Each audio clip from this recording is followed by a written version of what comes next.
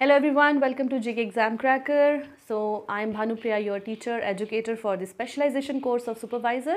So today I am back with the fourth discussion fourth session revision session of your supervisor specialization course ठीक है? तो हमने जैसे कहा था कि हमारा अगला टॉपिक इज़ सोशल स्ट्रेटिफिकेशन और सोशल स्ट्रेटिफिकेशन एक रिकॉर्डेड uh, आपके लिए क्लास हम कर रहे हैं।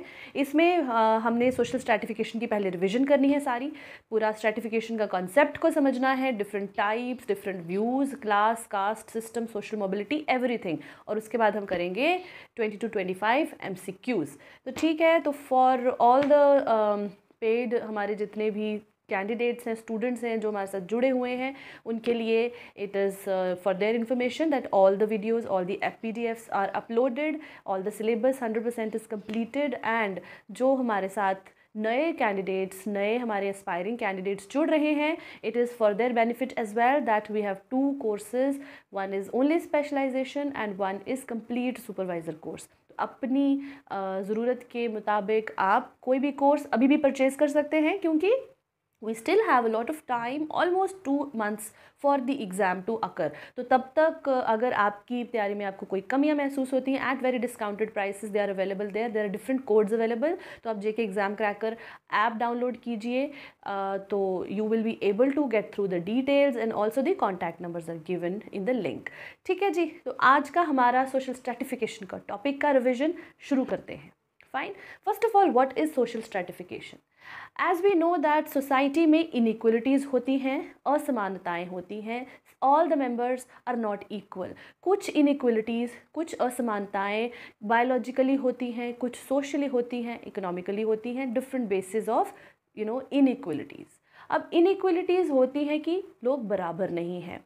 वेर स्ट्रैटिफिकेशन है दैट समाज में अलग अलग तरह की you you know know, uh, समाज अलग अलग लेयर्स में डिवाइडेड है अलग अलग स्ट्रेटा में डिवाइडेड है और हर स्ट्रेटा एक से दूसरे से यू नो हरारकी में ऊपर या नीचे होता है। तो ये जो हरारकिकल अरेंजमेंट है समाज का उसी को हम कहते हैं social stratification okay so what is social stratification you know it is like a definite arrangement एक ऐसा अरेंजमेंट है सोसाइटी का which is like abstract it is just you know हमारे माइंड में हाइपोथेटिकली uh, हमने सोसाइटी को समझने के लिए ये बनाया है but it is otherwise an institution that how different works how different you know task are done in the society by different members ये कुछ काम इंपॉर्टेंट समझे जाते हैं कुछ उनसे कम इंपॉर्टेंट होते हैं या कोई कईयों का स्किल ज़्यादा है कईयों का स्किल कम है क्वालिफ़िकेशंस कम है ज़्यादा है किसी का सोशो इकोनॉमिक बैकग्राउंड स्ट्रॉन्ग है किसी का वीक होता है सो so, अकॉर्डिंगली किसी का स्टेटस कम है किसी का ज़्यादा है तो यही जो कम ज़्यादा कम ज़्यादा मैं बोल रही हूँ इस ही अरेंजमेंट को जब हरारकी में अरेंज किया जाता है इसी को हम कहते हैं सोशल स्ट्रैटिफिकेशन फाइन सो चूँकि you know there are in equal distribution of the desired and the scarce resource in society society में जो रिसोर्स होते हैं, चाहे वो पावर है, चाहे वो पैसा है, चाहे वो स्टेटस है, इज़्ज़त है, ठीक है? तो वो सारा कुछ क्या है? Unequally available to the people it is not equal हम कहते हैं ना, कोई अमीर है, कोई गरीब है, किसी के पास पैसा ज़्यादा है, किसी के पास कम है, किसी के पास पोजीशन बड़ी है, किसी के पास छोटी है, कोई समाज में बहुत फ़ेमस होता है, कोई बिल्कुल भी किसी को कोई जानता ही नहीं है। तो इसीलिए there is unequal distribution of the scarce resource of the society so इसी की वजह से क्या होता है? Members have unequal access to the resources तो सोशल स्ट्रेटिफिकेशन क्या है? It is the division of society into different strata और of layers whose members have unequal access to social opportunities and reward simplest explanation तो social stratification क्या है? Society की division होती है into different strata of layers और हर एक मेंबर जो है, हर एक स्ट्रेटा का जो मेंबर है they have unequal access to the social rewards and social opportunities ठीक है जी? कुछ डेफिनेशंस देख लेते हैं। ऑकबर्न एंड निमकॉफ इसे डिफाइन करते हैं like the process by which individuals and groups are ranked in more or less enduring hierarchy of status more or less enduring hierarchy of status. Ogburn और निमकॉफ। अगर ये दो लोगों की डेफिनेशन आती है तो हम कहेंगे लाइक मोर और लेस जिसमें आया हुआ है तो this is Ogburn and Nimkoff की डेफिनेशन लुनबर्ग कहते हैं स्ट्रैटिफाइड सोसाइटी कौन सी होती है? Which is marked by inequality and differences among people that are evaluated by them as being lower or higher तो ल्यूनबर्ग कहते हैं कि स्ट्रैटिफाइड सोसाइटी एक स्ट्रैटिफाइड समाज, वो होता है, बहुत सारे स्तर होते हैं, उसमें बहुत सारे लेवल्स बहुत सारे स्ट्रेटा होते हैं and the people are unequal and they have their differences among them and इसलिए लोग एक दूसरे को ऊँचा या नीचा समझते हैं। गिस्बर्ट की है definition It says that social stratification is the division of society into permanent groups of categories linked with each other by relationship of superiority or subordination. Superiority और सबॉर्डिनेशन के रिलेशंस में समाज के अलग अलग वर्ग आपस में बंधे होते हैं उस सिस्टम को हम कहते हैं सोशल स्ट्रैटिफिकेशन रेमन मुर्रे की डेफिनेशन है that social stratification is the horizontal horizontal division of society into higher and lower social units कि सोसाइटी का horizontal horizontal is you know कि इस तरह से सोसाइटी डिवाइडेड है। एक लेयर उसके ऊपर एक और लेयर उसके ऊपर एक और लेयर जो सबसे नीचे हम जिसको प्लेस कर रहे हैं, उसकी पोजीशन सबसे नीचे है, उससे थोड़ा ऊपर जिसके पास social you know you can say capital है, जिसके पास ज़्यादा पैसा है, ज़्यादा प्रेस्टीज है, ज़्यादा इज़्ज़त है पावर है वो थोड़ा ऊपर, थोड़ा उससे और ऊपर, और सबसे ऊपर वो लोग आते हैं जो कि दुनिया के राजा होते हैं। ठीक है तो इसी को हम सोशल स्ट्रेटिफिकेशन कहते हैं। और एक बहुत इंपॉर्टेंट और बहुत ही सिग्निफिकेंट जो काम जिन पे सोशल स्ट्रेटिफिकेशन पे किया है एम एम ट्यूमिन ने। तो मेलविन एम ट्यूमिन डिफाइन करते हैं सोशल स्ट्रेटिफिकेशन को as an arrangement of any social group or society into hierarchy of positions किसी भी समाज का arrangement into hierarchy hierarchy is the layering of one above the other of positions that are unequal with regard to power property social valuation and psychic gratification इस तरह से social group या फिर society का अरेंजमेंट है हर arrangement है, जिसमें अलग अलग लेयर्स में या अलग अलग लेवल्स पे जो लोग होते हैं उनमें अनइक्वलिटी होती है। They are unequal with regard to power with regard to money with regard to property as well as their psychological gratification है ना? ऐसा ही तो होता है कि हर एक समाज में हायरार्की हमें देखने को मिलती है। अगर हम वेस्ट uh, की बात करें ब्लैक्स और वाइट्स हैं इंडिया की बात करें तो सामाजिक तौर पे हम देखें तो कास्ट सिस्टम है तो कास्ट सिस्टम में हमने ये देखा कि जिस कास्ट को, जिस वर्ण को सबसे नीचे रखा जाता है और जिनको सबसे ऊपर रखा जाता है, उनमें power money as well as their social position as well as their psychological gratification यानी कि ऐसे लोग जो सबसे नीचे होते हैं, उनका साइकोलॉजिकली भी वो कम खुश रहते हैं और जो सबसे ऊपर होते हैं, उन्हें लगता है कि हम ही सबसे बड़े हैं। तो ये एक ऐसा अरेंजमेंट होता है समाज का। फाइन ओरिजिन ऑफ़ स्ट्रेटिफिकेशन की अगर हम बात करें तो according to Davis that is Kingsley Davis social stratification has come into being as the functional necessity of the social system तो डेविस जो है, वो फंक्शनलिस्ट हैं फंक्शनलिस्ट क्या करते हैं? किसी भी सोशल इंस्टीट्यूशन को समझते हैं कि वो समाज की भलाई के लिए, अच्छे के लिए, लोगों के भले के लिए ही होता है। तो उसके बिना समाज नहीं अपनी एग्जिस्टेंस कर सकता। तो that is how social stratification भी किस लिए है? सोशल स्ट्रैटिफिकेशन का ओरिजिन भी फंक्शनल नेसेसिटी के तौर पर हुआ है। क्योंकि सोसाइटी में अलग अलग काम हैं अलग अलग टास्क टू बी परफॉर्म्ड हैं. And people are not equal in terms of their skills their capacity their education their backgrounds और अदर थिंग्स तो अगर सब लोग बराबर नहीं हैं तो सब लोग एक जैसे काम पर हक भी तो नहीं रख सकते. तो इसलिए सोशल स्ट्रेटिफिकेशन समाज को डिवाइड कर देती है स्ट्रेटा में कामों को डिवाइड कर देती है और दैट इज़ हाउ लोग खुशी से अपने अपने रोल्स को निभाते हैं और समाज जो है वो शांति से चलता है.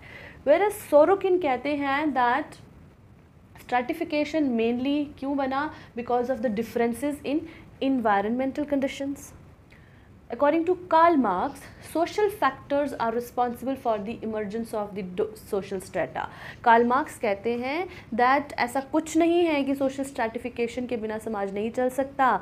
ये एक ऐसा षड्यंत्र है कि जो अपर क्लास है या जो रिच प्रॉपर्टीड क्लास होती है, वो अपनी यू नो पावर नहीं छोड़ना चाहती, वो एक्सप्लॉयट करती है छोटी जो लोअर क्लासेस हैं उनको। तो that is why it is like a means of what exploitation not functional for the society okay Gumplowicz कहते हैं that origin of stratification is in the conquest of one group by another अब Gumplowicz का कहना अपना है, उनका अपना view है, वो कहते हैं कि जब एक ग्रुप दूसरे ग्रुप को जीतता है, उसके ऊपर यू नो उसको जीत लेता है, उससे बड़ा बन जाता है तो वो उससे ऊपर के स्टेटा का हिस्सा बन जाता है, बाकी उनको वो अपने सबॉर्डिनेट कर लेता है। According to Spengler stratification is founded upon the scarcity okay क्योंकि समाज में क्या है? सोशल रिसोर्स कम होते हैं तो इसीलिए चीज़ों को बैलेंस करने के लिए सोशल स्ट्रेटिफिकेशन की ज़रूरत पड़ती है। अगर सब लोग हर एक चीज़ के पीछे पड़ गए, एक ही काम करने की ज़रूरत है तो मुश्किल हो जाएगा। Now four types of stratification भी अंडरस्टैंड पहला है स्लेवरी होता है दूसरा एस्टेट सिस्टम होता है और फिर क्लास एंड कास्ट सिस्टम तो हमने जो uh, मतलब uh, समझना है that is class and caste system okay what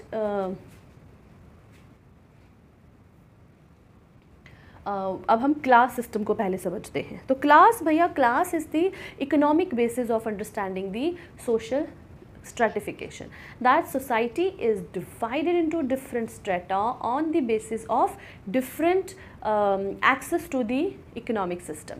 तो कार्ल मार्क्स और वेबर का जो व्यू है, वो हमने मेन पढ़ा था, आपको समझाया था डिटेल में मैंने आपको सोशल स्ट्रैटिफिकेशन का जब हमने लेक्चर किया था। तो कार्ल मार्क्स क्या कहते हैं? कार्ल मार्क्स कहते हैं that society is mainly divided into two classes पहली बात तो ये है कि वेबर और कार्ल मार्क्स जो हैं, वो दोनों ही क्लास को डिफ़ाइन करते हैं एज एन इकोनॉमिक ग्रुप ठीक है? कि हाँ जी। लेकिन कार्ल मार्क्स कहते हैं दैट द क्लास इज़ कौन लोग एक क्लास को बिलोंग करते हैं those who have the similar relation of relation to the force of production which means that समाज में जो लोग मीन ऑफ़ प्रोडक्शन यानी कि जिस जिस फोर्स uh, से प्रोडक्शन होता है जो कि मॉडर्न सोसाइटी में क्या है? इंडस्ट्रीज़ तो इंडस्ट्रीज़ के साथ किसका क्या रिलेशन है? वो उसकी क्लास को डिफ़ाइन करता है. फॉर एग्ज़ाम्पल जो लोग इंडस्ट्रीज़ में जाकर काम करते हैं, वो इंडस्ट्रीज़ को ओन नहीं करते, उसके मालिक नहीं हैं। They are the working class they are the poor class and they are the have not class on the other hand, the ones who are the owners of the industries, they are the rich bourgeoisie as well as they are the haves class यानी कि उनके पास सब कुछ है, उनके पास power है, पैसा है, उन, उन्हीं का बोलबाला है समाज में। और ये जो दो क्लासेस हैं mainly according to Karl Marx there are only two classes in the society haves and have nots rich poor bourgeoisie proletariat मतलब ये respectively वही terms हैं different terms हैं for the same thing okay तो Karl Marx ने society को differentiate या stratified समझा है on the basis of the class system and class according to him that uh, the members of a class share the similar relationship to the force of production on the other hand Max Weber क्या कहते हैं? Max Weber भी यही कहते हैं that economic system is the basis of the class but according to him it is the market situation that determines one's class which means that the members of the society who share a similar life situation or similar market situation they are the members of one same class market situation से उनका क्या कहना है? It is not necessarily the ownership or not ownership of the force of production यानी कि आज के समाज में मैक्स वेबर का जो व्यू है, वो ज़्यादा प्रोग्रेसिव है कार्ल मार्क्स से। मैक्स वेबर कहते हैं कि जो लोग समाज में एक मार्केट में एक तरह से बिकते हैं, बिकने में गलत मत समझिए ह्यूमन ट्रैफिकिंग नहीं है ये। बिकने का मतलब ये है कि आपके पास क्या है? आपके पास कोई डिग्री है?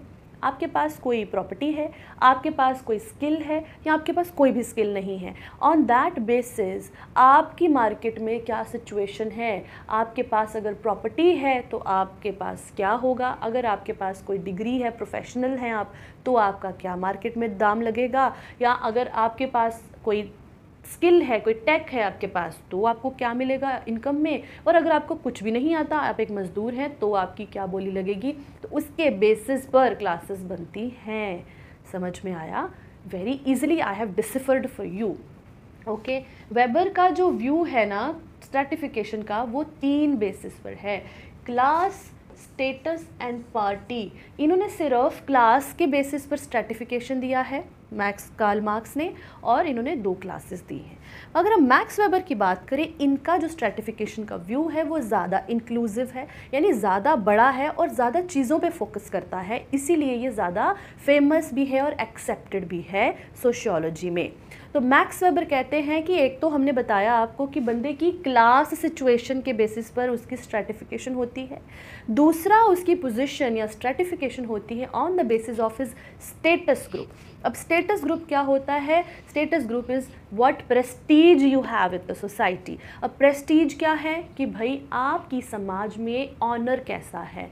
है ना, कि जैसे कि अलग अलग सोसाइटीज़ में अलग अलग स्टेटस ग्रुप होते हैं। अगर हम इंडिया की बात करें तो caste is a status group what caste you belong to even if आप बिल्कुल गरीब हैं और आप ब्राह्मण हैं तो आपकी इज़्ज़त एक गुड इकोनॉमिक स्टेटस वाले शूद्र से शायद बेटर है, क्योंकि आपका स्टेटस ग्रुप क्या है? ज़्यादा प्रेस्टीज वाला है। तो this is what Max Weber refers to by status group तीसरी वो बात करते हैं कि इंसान का जो स्ट्रेटिफिकेशन ग्रुप है, वो डिपेंड्स ऑन दी पार्टी कि आप किस पॉलिटिकल पार्टी या किस पॉलिटिकल आइडियोलॉजी का हिस्सा हैं। आज के टाइम में जो भी लोग हमारी रूलिंग पार्टी की आइडियोलॉजी को बिलोंग करते हैं, वो ख़ुद को बड़ा अफ्लुएंट और बहुत खुश महसूस करते हैं। लेकिन जो लोग ऑपोजिशन से हैं, थे पहले और अभी भी हैं, वो कहीं ना कहीं डायलमा में चल रहे हैं कि हमारी तो कोई मतलब अच्छा हम अच्छे वाले ग्रुप में नहीं बैठ पा रहे, क्योंकि सारी की सारी पॉलिटिकल एक्टिविटी सारा का सारा अफ्लुएंस सारा का सारा डिसीज़न मेकिंग जो है वो कौन कर रही है? द रूलिंग पार्टी कर रही है। तो इसलिए अकॉर्डिंग टू मैक्स वेबर ये तीन बेसिस जो हैं, वो इंसान की किसको डिफाइन करता है, ये डिसाइड करता है उसके स्ट्रेटिफिकेशन हरारकी को, कि वो किस स्ट्रेटा को बिलोंग करेगा, नीचे, ऊपर या सबसे ऊपर। समझ में आया? अब नाउ सिर्फ़ क्लासेस की बात करें तो वेबर ने चार क्लासेस दी हैं। फ़र्स्ट इज़ प्रॉपर्टीड क्लास वो लोग यू you नो know, जो कि ओनर्स ऑफ़ द प्रॉपर्टी होते हैं। दूसरा आ जाती है हमारी इंटेलिजेंशिया जैसे मैंने कहा professionals doctors engineers and other intelligent professors type लोग। तीसरा आता है पेटी बुर्जुआजी तो छोटे छोटे बिज़नेस के मालिक होते हैं दुकानदार है ना छोटे मोटे स्टोर्स वगैरह और उनको लगता है कि हम भी अच्छे हैं। और चौथी आ जाती है वर्किंग क्लास जिसमें skilled semi skilled non skilled सब आ जाते हैं।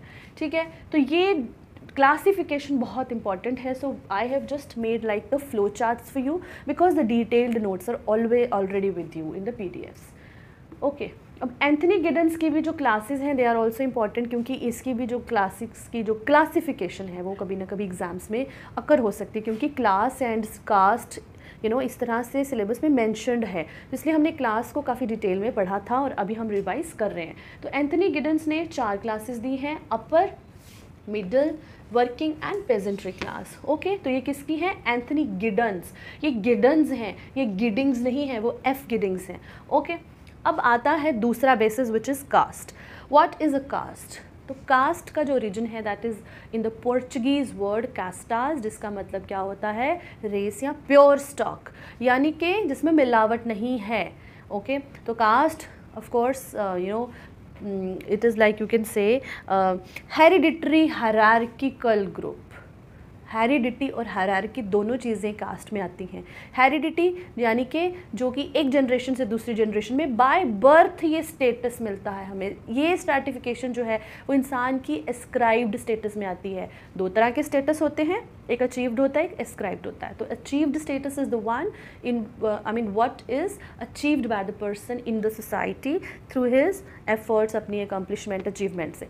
लेकिन ascribed is something what we get by birth ठीक है? तो caste is an ascribed status okay तो सी एच कूली इसे डिफ़ाइन करते हैं दैट जब एक क्लास समवट स्ट्रिक्टली हेरिडिटी हो जाती है, उसको हम कास्ट कहते हैं।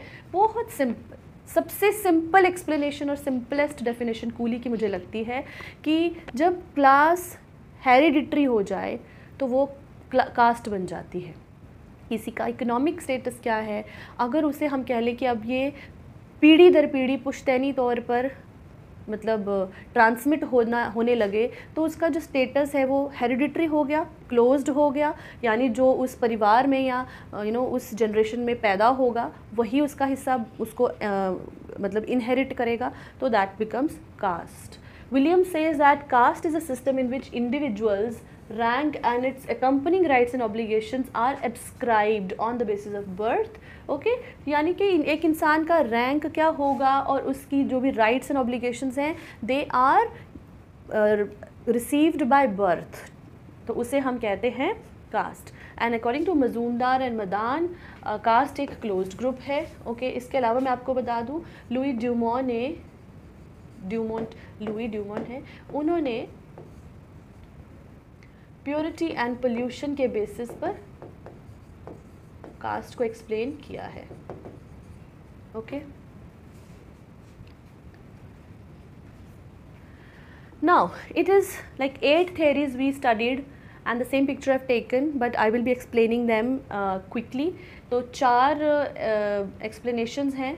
थ्योरीज़ हैं of the origin of the caste कि कास्ट सिस्टम कैसे ओरिजिन हुआ होगा? पहली है racial theory given by Majumdar तो इनका कहना है कि जो आर्यंस हैं, वो मतलब इंडो आर्यंस आए मतलब हमारे इंडिया की धरती पर और आर्यंस का मतलब वर्ण का मतलब होता है कलर, ठीक है? तो बाहर किससे जो लोग आए थे? They were of the fair complexion whereas जो इंडिजिनस पीपल थे they were of the dark complexion तो एक रेशियल डिफरेंस था लोगों में तो वही रेस का डिफरेंस जो था, वो बन गया उनमें मतलब हेरिडिटरी और जो गोरे लोग थे, उन्होंने ख़ुद को मान लिया सुपीरियर और जो यहाँ के इंडिजिनस लोग थे, उनको दास बना लिया अपना। तो इस तरह से ओरिजिन होता है कास्ट सिस्टम का। दूसरी है ऑक्यूपेशनल थ्योरी ऑक्यूपेशनल थ्योरी दी है नेस फ़ील्ड ने। नेस फ़ील्ड का व्यू है इसमें। वो ये कहते हैं that occupation is the base of the caste system that different groups है ना अलग अलग कम्युनिटीज़ जो थी, वो अलग अलग ऑक्यूपेशंस प्रैक्टिस करती थी। तो ये ऑक्यूपेशनल जो एक्सपर्टीज़ थी ना कि जैसे कोई कुम्हार है, लोहार है, सुनार है है ना? तो ये तो ऑक्यूपेशनल ग्रुप है, पर यही ऑक्यूपेशंस जब पीढ़ी दर पीढ़ी ट्रांसफ़र होना शुरू हो गई तो अब कुम्हार जो है वो एक ऑक्यूपेशन भी है और कुम्हार जो है वो कास्ट भी बन गई। लोहार जो है वो ऑक्यूपेशन भी है blacksmith but at the same time ये एक कास्ट भी बन गया। तो ऐसे ही ऑक्यूपेशनल थ्योरी नेस फ़ील्ड की बताती है दैट कैसे कास्ट सिस्टम ओरिजिनेट हुआ होगा। पॉलिटिकल थ्योरी जो है पॉलिटिकल थ्योरी ये कहती है दैट गुरे इसका मेन प्रोटैगनिस्ट होते हैं और कहते हैं दैट कास्ट जो है it is the Brahmanic child of Indo Aryan culture cradled in the land of the Ganga यानी कि जो ब्राह्मण्स ने अपनी सुपरमेसी, अपनी बनाने के लिए या अपनी सुपीरियरिटी को मेंटेन रखने के लिए कास्ट सिस्टम को बना दिया और उन्होंने अलग अलग रिलीजियस टेक्स्ट्स में ये लिख दिया कि सबसे ऊपर ब्राह्मण आते हैं, सबसे नीचे शूद्र आते हैं, इनका ये काम है, इनका ये काम है तो इस अलग अलग तरह की रिस्ट्रिक्शंस और राइट्स और ऑब्लिगेशंस बना दिए लोगों के। ट्रेडिशनल थ्योरी ट्रेडिशनल थ्योरी जो है, जो डिवाइन थ्योरी भी है, वो कहती है कि डिवाइन ओरिजिन है जी कास्ट का। तो कास्ट सिस्टम वर्ण से बनी है और वर्ण कहाँ से पैदा हुए थे, बने थे यू नो आदि पुरुष या फिर कह लीजिए कि जो यू नो डिवाइन गॉड हैं, उनकी बॉडी से निकले थे। जो जो उन, जो लोग उनके ब्रेन से बने, उनके हेड के पार्ट से बने, वो सबसे प्योर थे, क्योंकि ब्रेन या हेड हम सबसे ऊपर और सबसे प्योर पार्ट सबसे इंटेलिजेंट मानते हैं तो वो आगे ब्राह्मण, जो उनके बाजुओं से निकले शोल्डर्स से निकले तो वो हो गए हमारे Kshatriyas because they are the ones who have more power and जो थाइज से निकले वो हो गए Vaishya because thighs are use to walk तो इसलिए मर्चेंट हमारे जो भी लोग थे ये वैश्य और चौथे नंबर पर जो पैरों से चरणों से निकले वो हो गए Shudras. Like this this is the divine theory of the caste origin पांचवी थेरी है, गिल्ड थेरी ये डेंजल एबेटसन ने दी है that different types of guilds were formed and you know three you know यहाँ से ही कास्ट लाइक सिस्टम बन गए। तो कास्ट सिस्टम जो है, वो कहीं ना कहीं पूरे दुनिया में हमें देखने को मिलता है। ट्रेडिशनल थेरी भी हो गई हमारी तो एवोल्यूशनरी थेरी एवोल्यूशनरी थेरी ये कहती है that how the caste have evolved over a period of time the theory reveal it reveals that caste system जो है वो ऑल ऑफ़ अ सडन नहीं आ गया but different you know factors contributed in to its origin hereditary occupation है ना? जैसे मैंने कहा कि ऑक्यूपेशनल ग्रुप्स थे, जब वो हेरिडिटरी बन गए तो फिर वो कास्ट सिस्टम में कन्वर्ट हो गए. अब हम देखते हैं कास्ट और क्लास का डिफरेंस ओके कास्ट जो है that is determined by birth whereas class जो है that is not hereditary okay determined by social and economic standing in the society religious beliefs में रूटेड होती है वेर एज ऐसा कुछ नहीं होता क्लास में Here people are bound to follow the customs and rituals and traditions related to the caste but uh, class में ऐसी कोई restriction नहीं है caste static है caste एक closed group होता है whereas class is comparatively dynamic and open system यानी कि लोगों के पास ये freedom होती है that they can change their uh, no situation no scope for upward social mobility है ना? यानी कि एक कास्ट में जब आप पैदा हो गए तो आप उसी कास्ट में मरोगे. And here the class position can be changed है ना? कंपेरेटिवली वी सीन दैट जो लोग लोअर क्लास में भी पैदा होते हैं मेहनत करके या किसी भी तरह से अपना इकोनॉमिक स्टेटस बेटर करके वो अपर क्लास का हिस्सा बन जाते हैं. इंटर कास्ट मैरिजेस जो हैं उनको अभी भी इतने अच्छे से एक्सेप्ट नहीं किया जाता. इंटर क्लास मैरिजेस में कोई इशू नहीं होता. बहुत सारी पोलिटिकल फोर्सेज हैं. बट क्लास सिस्टम पॉलिटिकल नहीं होती, इकोनॉमिक होती है। यहाँ पे अपने एंसेस्टर्स की ऑक्यूपेशंस को फॉलो करने के लिए लोगों को फोर्स किया जाता है but here occupations are according to one's own choices fine now the last part of the vision which is social mobility there are three main types of social mobility open and close system तो open close system की हम बात करें तो open system वो होता है जिसमें different members of the different strata have this freedom of moving up and down this ladder of social stratification अब आप कहेंगे कि ये कौन सी सीढ़ी है? तो सोशल स्ट्रेटिफिकेशन को हमने एज अ सीढ़ी वाला सिस्टम ही तो समझा है। सबसे पहली सीढ़ी पे कौन है और सबसे ऊपर कौन है? तो ऐसा सिस्टम जिसमें लोगों को ये आज़ादी हो कि भाई आप अपना स्टेटस इंप्रूव करके यहाँ से ऊपर जा सकते हो, तरक्की करके ऊपर जा सकते हो और अगर काम अच्छा नहीं किया तो नीचे आ जाओगे, उसे हम कहते हैं open system there is a free movement of the people up and down the ladder whereas close system कि आप जिस कंपार्टमेंट में पैदा हो गए, उसी में रहोगे। कितनी भी सिर मार लो, जितना भी कोशिश कर लो। तो ओपन सिस्टम की एग्जांपल होती है class system whereas close system की एग्जांपल हमारा कास्ट सिस्टम या कास्ट जैसे और सिस्टम्स आ जाते हैं। ओके ओपन सिस्टम में like we say that social mobility ज़्यादा होती है। सोशल मोबिलिटी ही यही होती है that the tendency of the people of moving up and down this ladder of stratification that is called as social mobility अब open वो सिस्टम होता है जहाँ पर ज़्यादा आज़ादी होती है रिस्ट्रिक्शंस कम होती हैं। क्लोज सिस्टम वो होता है जहाँ पर ज़्यादा रिस्ट्रिक्शंस हो और लोगों के चांसेस कम से कम हो अपना स्टेटस चेंज करने के। Okay okay.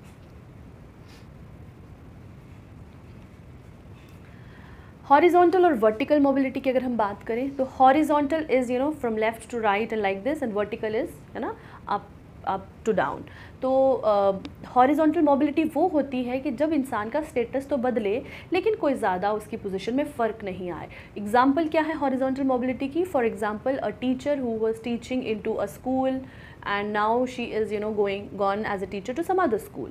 तो she is not promoted as such. कोई उसका status नहीं बढ़ा कोई उसका income नहीं बढ़ा कोई class नहीं change हुआ. तो that is horizontal mobility है ना? तो जैसे फॉर um, uh, जो वर्टिकल मोबिलिटी है फॉर एग्जांपल उसमें स्टेटस चेंज होता है इंसान का.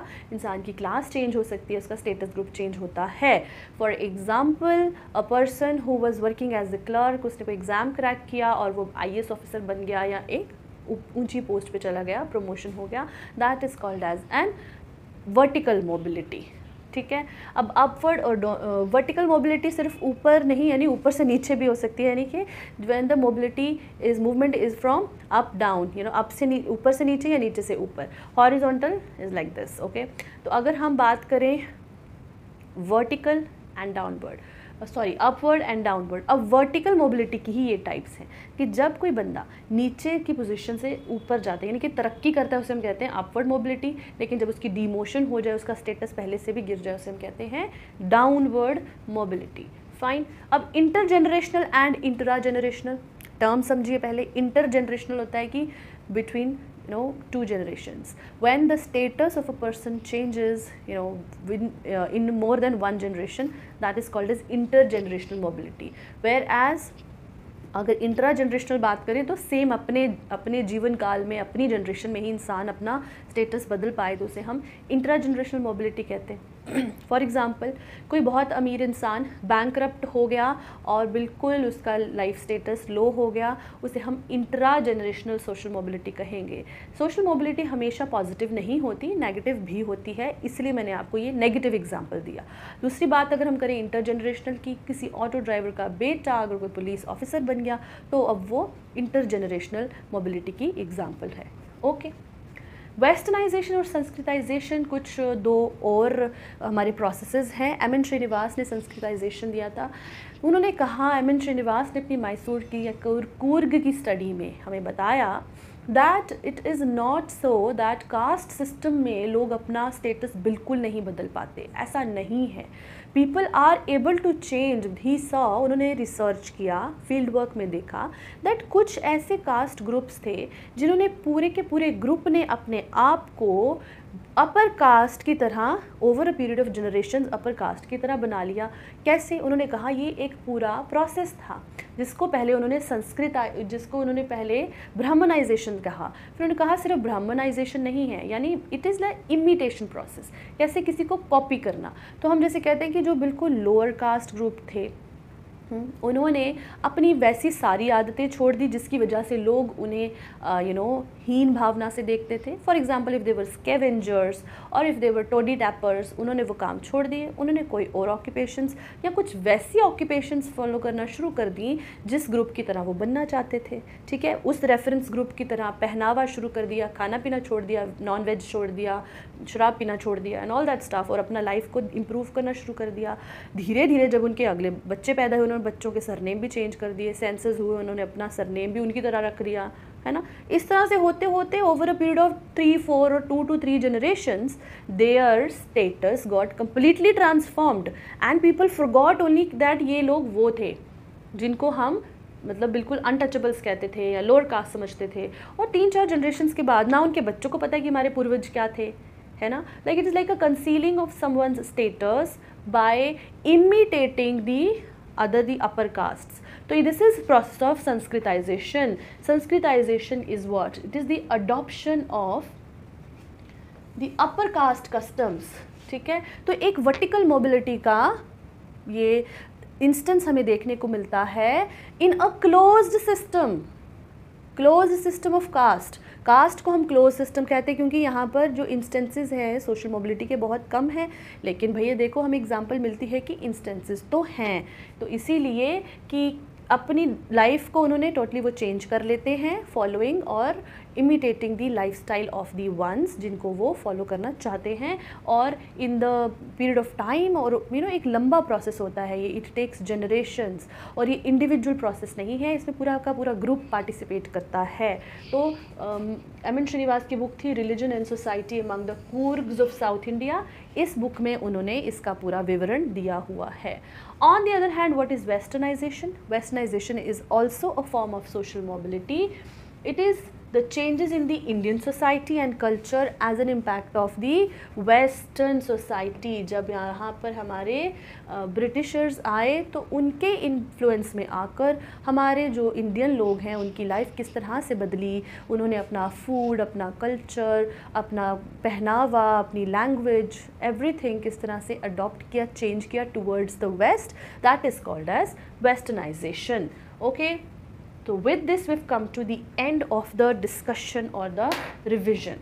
Now we will discuss the MCQs of social stratification.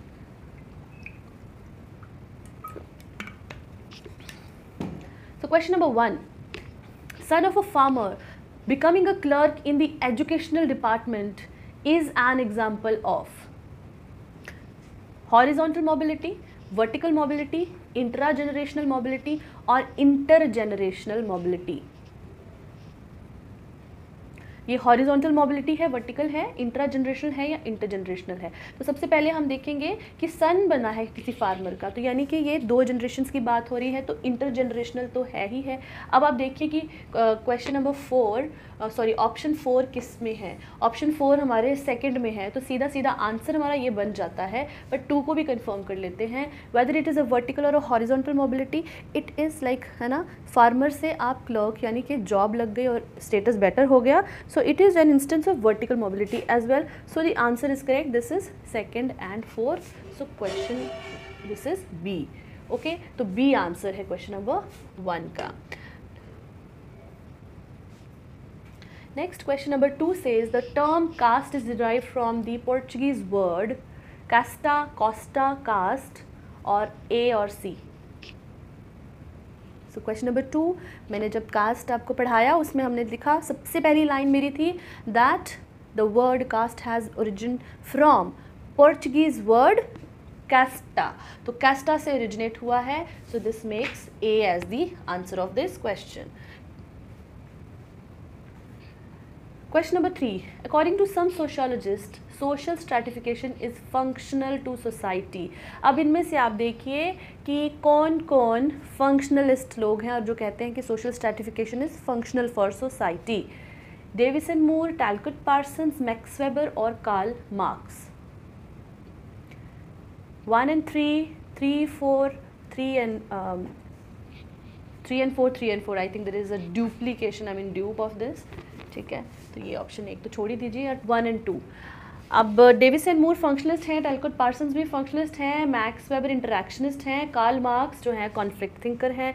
तो कार्ल मार्क्स जहाँ जहाँ पर भी हैं, वो तो हम पहले इग्नोर कर दें कि ये तो नहीं आ सकता। तो whether one and three one and three he is an interactionist तो इंटरेक्शनिस्ट जो हैं, वो फंक्शनलिस्ट नहीं होते। तो फंक्शनलिस्ट हमारे Davis and Moore and Talcott Parsons हैं। तो students this make D as the answer of this question है ना? तो टैलकोट पार्सन्स ने भी फंक्शनल थ्योरी दी है और डेविस एंड मूर ने भी फंक्शनल थ्योरी दी है स्ट्रेटिफिकेशन की। Now dash is a collection of individuals who occupy comparable economic positions वो लोग जिनका इकोनॉमिक पोजीशन कंपेरेबल यानी कि ऑलमोस्ट सिमिलर होता है सोसाइटी में, वो कौन होते हैं? They are the members of a caste a class a state और ग्रुप अब हमने पहले डिस्कस किया दैट जिनका सिमिलर स्टेट स्टेटस सिचुएशन होता है they do not form a class so who form a class जिनका सिमिलर इकोनॉमिक सिचुएशन होता है. तो इकोनॉमिक पोजिशन जिनका सिमिलर होता है they are the members of a class clear it was very simple no much i mean explanation is required question number 5 dash is made up of individuals who are awarded a similar amount of social honor अब जिन लोगों को similar social honor मिलता है वो लोग कौन होते हैं ये word social honor किसने यूज़ किया है ये word मैक्स वेबर की थ्योरी से आता है तो अब आपको है ना कोई इशू नहीं होना चाहिए तो सोशल ऑनर जिनका सिमिलर होता है they are the members of what a class economic group status group और पार्टी तो ऑनर या प्रेस्टीज किससे जुड़ा होता है? क्लास से तो नहीं है. क्लास और इकोनॉमिक ग्रुप एक ही बात है तो ये दोनों चीज़ें नहीं हैं. तो पार्टी तो पॉलिटिकल आ गया तो इट इज़ स्टेटस है ना? Honour is related to the status six dash contributes to the formation of strata in division in uh, classification economic social and political factors.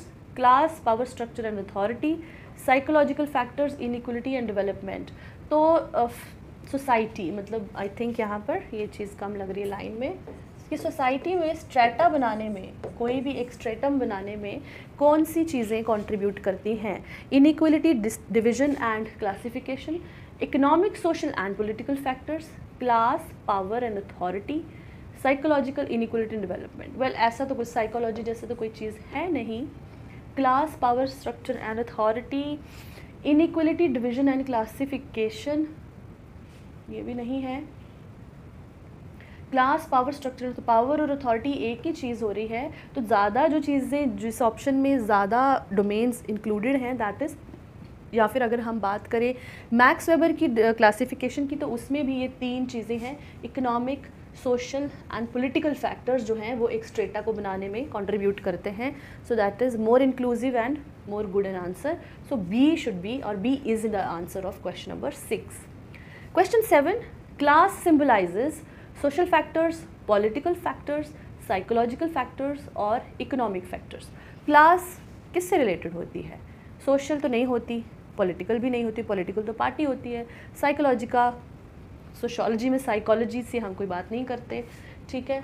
तो क्लास जो है वो इकोनॉमिक फैक्टर्स को सिम्बलाइज करती है। Question eight से इज़ दैट स्टेटस क्या symbolize करता है? स्टेटस किस चीज़ के बारे में बताता है हमें? Mobility class stratification social factors और पॉलिटिकल फैक्टर्स मोबिलिटी तो ये बिल्कुल ऑब्सलीट चीज़ इसमें फिट ही नहीं हो रहा। क्लास स्ट्रेटिफिकेशन सोशल फैक्टर्स या पॉलिटिकल क्लास का तो स्टेटस से सीधा सीधा कोई लिंक नहीं है पॉलिटिकल का भी नहीं है।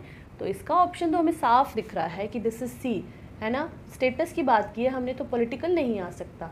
क्लास भी नहीं आ सकती क्लास इज़ इकोनॉमिक तो स्टेटस ऑनर प्रेस्टीज किसी इंसान की सोशल सिचुएशन पे डिपेंड करता है। सामाजिक। Ninth which is the instance of Davis and Moore about the arising of social stratification. Social stratification की जो थ्योरी डेविस एंड मूर ने दी है अकॉर्डिंग टू देम क्या कहते हैं वो कि सोशल स्ट्रेटिफिकेशन क्यों हुई, क्यों बनी? तो जैसे हमने ओरिजिन ऑफ़ स्ट्रेटिफिकेशन की शुरू में मैंने एक स्लाइड दी थी, उसमें हमने पढ़ा था that what was it social inequality social divisioning similarity और क्लासिफिकेशन तो उन्होंने अपनी थ्योरी में ये कहा है दैट सोसाइटी इज़ डिवाइडेड और सोसाइटी में अलग अलग काम डिवाइडेड हैं और सब लोग इक्वल एक्सेस नहीं है सबका, क्योंकि सबके पास इक्वल स्किल नहीं है इक्वल क्वालिफिकेशंस नहीं होती। तो इसीलिए कि समाज में हारमोनी ऑर्डर बना रहे तो इसके लिए स्ट्रैटिफिकेशन होता है। तो it is social divisioning social divisioning कि सोसाइटी में जो डिविजन्स हैं they lead to the formation of social stratification if there is similarity तो फिर स्ट्रेटिफिकेशन कैसी होगी? बिकॉज़ स्ट्रेटिफिकेशन तो डिफ्रेंसिएशन पे ही बेस्ड है ना? Question number ten what is Weber's conceptualization about the base of stratification अब हम कहते हैं कि वेबर क्या कहते हैं कि स्ट्रेटिफिकेशन किन चीज़ों पे बेस्ड है? उन्होंने तीन चीज़ों की बात की थी, जब मैंने अभी डिटेल में वेबर की थ्योरी आपको पढ़ाई, अभी रिवाइज भी की है तो what is the stratification theory किस चीज़ पे based according to Weber options देखते हैं। Power, mobility and community, power, status group, class and party, power, political party, group and class, status group, community and class. गौर से देखिए पहला option power mobility and community mobility और community क्या है? भाई power तो उन्होंने बात की थी बट ये नहीं है. Power status group class and party यही ऑप्शन है. ठीक है बाकियों को भी देख लेते हैं. Power political party group and class political party और पावर एक ही चीज़ है this is one and the same thing group class class की बात की थी बट ग्रुप की बात नहीं है. स्टेटस ग्रुप की बात है कम्युनिटी की बात नहीं है क्लास है. So this is the option which includes everything clear चलिए question number eleven which are the three dimensions of social stratification as referred by Weber once again the same question in different language so that you guys you know get a complete hold of Weber Weber नहीं भूलना चाहिए किसी भी आ, मतलब आ, हाल में class caste estate occupation hierarchy income level power prestige and party property और class ethnicity and gender so class caste and state नहीं occupation hierarchy and income level भी नहीं है। क्लास एथनिसिटी जेंडर की तो बात की ही उन्होंने नहीं है। तो power prestige and property property आ गई आपकी क्लास प्रेस्टीज आ गई आपकी स्टेटस और पावर आ गई आपका पार्टी रिलेट कर पा रहे हो ना? You guys are not little kids कि मुझे आपको एक एक वर्ड समझाना पड़े। ठीक है? Question number twelve what is the highlight of the theory of Kingsley Davis and Moore about the theory of stratification equal value to all work, valuing all works, valuing the work on the basis of nature or unequal values of different works. Davis and Moore ने अपनी theory में क्या कहा है that stratification किस चीज़ पर based है कि हर काम के सेम वैल्यू है समाज में किसी भी काम को आप उठा लें, चाहे कोई एज अ स्वीपर काम करता है एज अ क्लर्क काम करता है, या फिर एज एन एडमिनिस्ट्रेटर बहुत बड़ा कोई डीसी है, सबके काम की एक जैसी वैल्यू है समाज में? या वो कहते हैं कि सबके काम की वैल्यू करनी चाहिए? या वो ये कहते हैं कि अलग कामों की अलग अलग वैल्यू होती है सोसाइटी में? या फिर on the basis of their nature value बनती है सोसाइटी में काम की? वो क्या कहते हैं? तो डेविस एंड मूर की थियरी जिन्होंने पढ़ी है good for them and for those who have not तो डेविस एंड मूर ने फंक्शनल थ्योरी दी है स्ट्रेटिफिकेशन की। ब्रीफ में बताती हूँ कि स्ट्रेटिफिकेशन को वो कहते हैं कि ये एक अभिन्न हिस्सा है समाज का, जिसके बिना अच्छे से रोल्स लोगों में नहीं बांटे जा सकते और जिसके बिना हमारे समाज के काम आसानी से नहीं हो सकते, क्योंकि अलग अलग कामों की अलग अलग वैल्यू होती है। Unequal values for different works and valuing the work on the basis of the nature और किसी भी काम की जो वैल्यू है, वो उसके नेचर पे डिपेंड करती है। कैसे? कि अगर एक हॉस्पिटल में डॉक्टर है और नर्सेज हैं तो डॉक्टर एक होता है तो नर्सेज या अटेंडेंट्स दस होते हैं। लेकिन काम की ज़्यादा वैल्यू किसकी है? उसकी वैल्यू ज़्यादा होती है, जिसके काम में ज़्यादा एक्सपर्टीज़ लगती है, जिसमें स्किल ज़्यादा लगता है। डॉक्टर ही सर्जरी करते हैं डॉक्टर ही बीमारी का पता लगाते हैं या नर्सेज लगाती हैं। तो इसलिए डॉक्टर का काम ज़्यादा इंपॉर्टेंट है। दूसरे नंबर पर उनका काम, उसकी सैलरी या उसका काम इसलिए भी इंपॉर्टेंट है क्योंकि उसके ऊपर बाकी दस लोग डिपेंड करते हैं। जब तक डॉक्टर साहब नहीं आएँगे हॉस्पिटल में मरीज़ों का इलाज नहीं हो सकता। जब तक डीसी साहब नहीं आएँगे, तब तक फ़ाइल पे साइन नहीं हो सकते। तो इस ही लिए उन लोगों की पोजीशन भी ऊँची है, उन लोगों का रिवॉर्ड भी ज़्यादा है, उनकी सैलरी भी ज़्यादा है, उनको समाज में इज़्ज़त भी ज़्यादा मिलती है। Because the work is based valued on the basis of the nature समझ में आई? ठीक है? तो क्वेश्चन नंबर थर्टीन पे चलते हैं। Who are the prominent sociologist mainly analyze the functionalist perspective of social stratification तो बच्चों, जब भी फंक्शनलिस्ट परस्पेक्टिव की बात आएगी तो डेविस और मूर का नाम सबसे पहले आता है और फिर टैलकट पार्सन्स का भी आता है। तो किंग्सले डेविस एंड मूर इस क्वेश्चन का सीधा सीधा आंसर बन जाते हैं। Not you know beating around the bush I tell you directly Max Weber और कार्ल मार्क्स तो हैं ही नहीं।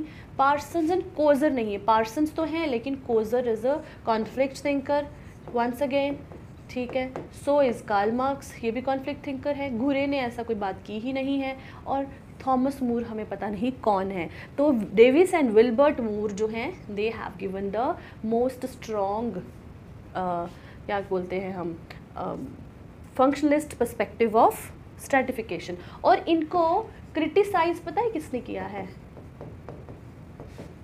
M M Melvin M Tumin ने ठीक है? तो जिनको लिखना है लिख लें, जिनको पता है गुड फॉर देम जिनको नहीं पता लिख लें।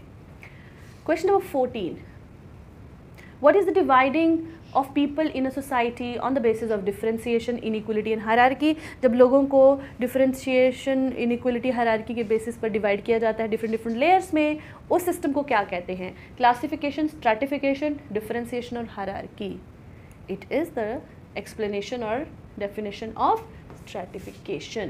Social stratification होती है। अब ये तो इस पॉइंट पर आकर मज़ाक जैसा सवाल लगा होगा आपको, क्योंकि you guys are doing good birth is the dash base of stratification by birth जो हमें मिलता है, वो कौन सा बेसिस है और स्ट्रेटिफिकेशन का? बायोलॉजिकल सोशल कल्चरल और इंडिविजुअल इंडिविजुअल तो नहीं कोई भी होता। कल्चरल भी नहीं है बाय बर्थ कल्चरल नहीं होता। Social is not by birth it is biological base of stratification ठीक है जी? बाय बर्थ यानी कि एस्क्रिप्शन में जो चीज़ें हमें मिलती हैं, वो बायोलॉजिकल होती हैं। Which of the following correctly defined the concept of stratification structured inequalities between groups in society in terms of their access to material और symbolic rewards cultural inequalities between various ethnic groups inequalities between individuals in terms of their intelligence or consciousness of relative deprivation. Uh, very clear from the options that B, C and D just cannot be the answers. Relative deprivation जैसी कोई बात नहीं होती है stratification में intelligence की कोई बात नहीं होती सिर्फ cultural inequalities between different ethnic groups do not lead to social stratification it is option A ठीक है? तो ऐसी स्ट्रक्चर्ड इनिक्वलिटीज़ यानी ऐसे असमानताएँ जिनको स्ट्रक्चरली बनाया गया होता है सोसाइटी में, जिसके बेसिस पर जो ग्रुप सबसे नीचे है, उसका एक्सेस सबसे कम होता है समाज के मटेरियल या सिंबॉलिक रिवॉर्ड्स के लिए भी। With which forms of stratification the question of style of life associated? Very good question. ये मैं आपको फिर से बता दूँ मैक्स वेबर की क्लासिफिकेशन से सवाल आया है कि स्टाइल ऑफ़ लाइफ किससे जुड़ा हुआ है? क्लास, एस्टेट, स्टेटस और पार्टी।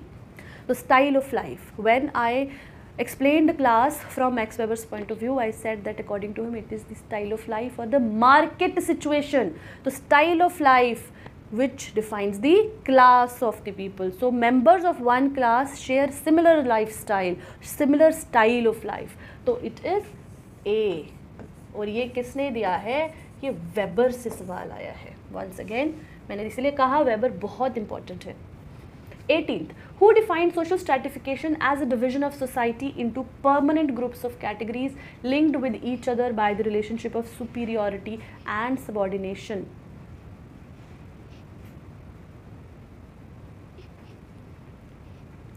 Stratification को as a division of society into permanent groups of categories linked with each other by the relationship of superiority and subordination ये किसने define किया है so this definition is Lundberg okay 18 is B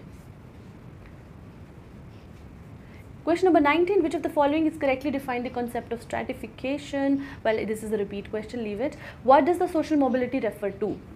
Social mobility क्या है? Ability to move to another country, no no, ऐसा कुछ नहीं है ability to move up or down the social hierarchy, ability to change the political system, ability to switch the economic systems. So the answer is remaining option B. Ability to move up or down the social hierarchy is called as social mobility. Question number 21. What does the conflict theory propose about the dominant class in society? Dominant class के बारे में conflict theory क्या कहती है? Conflict theory के protagonist, सबसे important conflict theory किसने दी है? कार्ल मार्क्स ने। तो कार्ल मार्क्स क्या कहते हैं अपर क्लास के लिए या फिर डोमिनेंट क्लास के लिए? They ensure stability by providing resources कि जो अपर क्लास है या जो डोमिनेंट क्लास है, वो बाकियों को रिसोर्स देती है। They maintain power by suppressing lower class वो अपनी पावर को मेंटेन करते हैं लोअर क्लास को सप्रेस करके। They encourage social mobility for all वो कहते हैं कि आओ सब लोग हमारे साथ मिल जाओ और हमें नीचे गिरा दो। They promote equality through economic policies वो इकोनॉमिक पॉलिसीज़ बनवाते हैं ताकि इक्वालिटी आए समाज में। तो क्या कहती है कॉन्फ्लिक्ट थ्योरी कॉन्फ्लिक्ट थ्योरी तो यही कहती है ना that there is inequalities because there is unequal distribution of the resources in society और जो डोमिनेंट और या अपर क्लास है वो हथिया के रखती है सारा कुछ और वो गरीबों को या छोटी दूसरी क्लास को सप्रेस करती है। सो so, वो अपनी पावर को मेंटेन करके रखते हैं और लोअर क्लास को सप्रेस करते हैं उनको कभी ऊपर नहीं उठने देते। Question twenty two what is the term for the ability of individual or group to move up or down the social hierarchy? Social hierarchy की लेडर में ऊपर या नीचे मूव करने की एबिलिटी को हम क्या कहते हैं? Very simple once again it is social mobility इसी को तो कहते हैं social mobility question twenty three how does Karl Marx conceptualize the stratification theory of society Karl Marx अपनी स्ट्रेटिफिकेशन थ्योरी को कैसे कॉन्सेप्चुलाइज यानी कि ऑन वट बेसिस किस बेसिस पे वो रखते हैं? इकोनॉमिक सिस्टम पे फोर्सेस ऑफ़ प्रोडक्शन पे डिफरेंट मोड्स ऑफ़ प्रोडक्शन पे या इकोनॉमिक ऑर्गेनाइजेशन पे।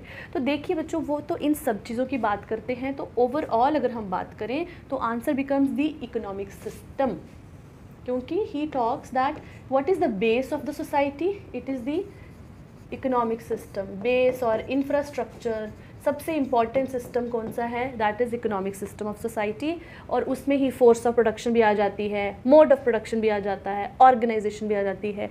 तो सबसे जो कंप्लीट uh, या सबसे ज़्यादा होलिस्टिक जो टर्म है वो इकोनॉमिक सिस्टम है। इसीलिए A is the answer question twenty four which are the pre predominant classes commonly found in feudalistic economic system. Feudal system जो था, जो काल मार्क्स की यू नो क्लास सिस्टम में पाँच तरह की सोसाइटीज़ आई तो उसमें फ्यूडल सिस्टम, या फ्यूडल जो इकोनॉमीज थी, उसमें दो मेन क्लासेस कौन सी होती हैं? Capitalist and workers lords and serf king and people feudal lord and king feudal lord and king में जैसी कोई बात नहीं है लॉर्ड किंग एक ही हुआ किंग एंड पीपल जैसी कोई क्लासेस नहीं हुई कभी।